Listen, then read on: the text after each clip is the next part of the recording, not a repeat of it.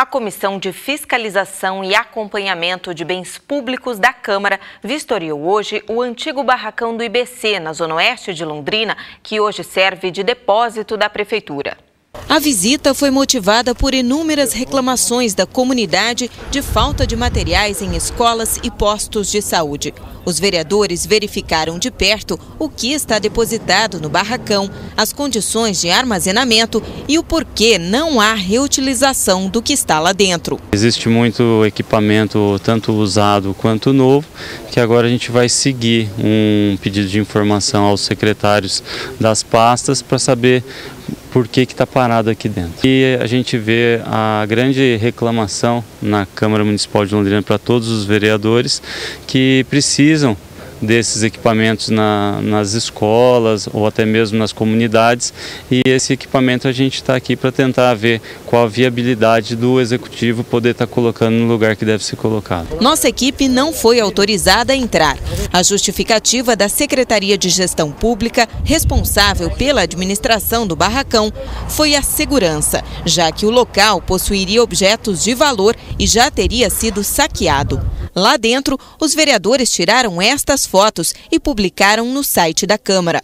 Muito entulho pode ser visto como restos de materiais eletrônicos, carteiras velhas, junto com material de escritório que parece sem uso e cadeiras de rodas. Há também carros e ambulâncias antigas do SAMU, que, segundo os vereadores, viraram sucata e vão a leilão. Eles relataram que o ambiente é quente e sujo. Olha, em virtude do calor de hoje, a, temperatura lá dentro é uns 40 graus. A grande preocupação que eu vejo é que é no, no mesmo local ter, ter equipamentos que não são aproveitados junto com equipamentos novos. Então eu vejo que poderia ser é, relocado de uma melhor maneira para que pudesse se conservar melhor aqueles que podem ser aproveitados. O antigo barracão do IBC foi usado na gestão anterior como um depósito de logística reversa para materiais que não são mais utilizados, mas podem ser reciclados. Nós não conseguimos falar com o secretário de Gestão Pública, Rogério Dias, para saber o que vai ser feito com o material. É, nós estamos tentando saber até agora por que, que não deixaram a equipe de televisão entrar lá. Aliás, as equipes, né? tinha mais de uma equipe lá, não era só a Tarobá que estava lá.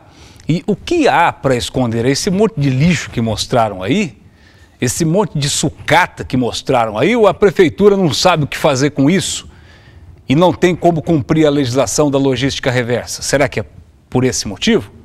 Nós estamos aqui à espera de uma resposta, não é? Partindo do princípio que um barracão público desses aí oferece até risco para a população, eu acho que era o contrário, tinha que estimular a mostrar isso para que alguma providência seja tomada, porque reclamações tem de monte. E mais ainda, por dois lados dá para ver a incompetência.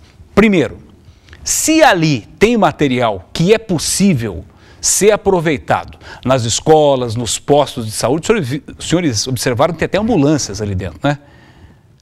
até ambulâncias paradas. Mas, se tem alguma coisa ali que é servível para qualquer bem público, já há aí uma falha. E por outro lado também, como eu disse, se pela legislação aquele que gera o lixo é responsável pela sua destinação, a prefeitura deveria dar conta disso e seus respectivos órgãos. Talvez isso explique por que não deixaram a imprensa entrar. Mas é a cidade da piada pronta, não é? Eles não deixam os jornalistas filmar, aí entra o fotógrafo da Câmara, tira um milhão de fotografias e coloca no site da Câmara de Londrina. Vocês fazem piadas prontas pra gente, é isso.